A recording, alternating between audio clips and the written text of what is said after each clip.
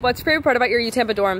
Um, probably my like central location on campus. This is my room. Ooh, it's cute in here. Very colorful. It's a nice sized bathroom. But we only share the bathroom with one person, so it's pretty nice. You guys each have a desk here. Looks like they're more of a makeup desk. We do most of our homework in our bed. Are these loftable? Yes, they are. So you could put it up and put your desk under if you wanted more space. But your room is big. You didn't even need to do that. One of my favorite parts about the room is our view into the Sykes courtyard. It's like a three minute walk to class in the morning. You're also really close to the pool. This is our little kitchen area, the little nook behind the door, so this isn't like in our space crowding up our way. Although we have this, it's still super convenient. We're right across the street from Vaughn. It's like three steps away to go get food.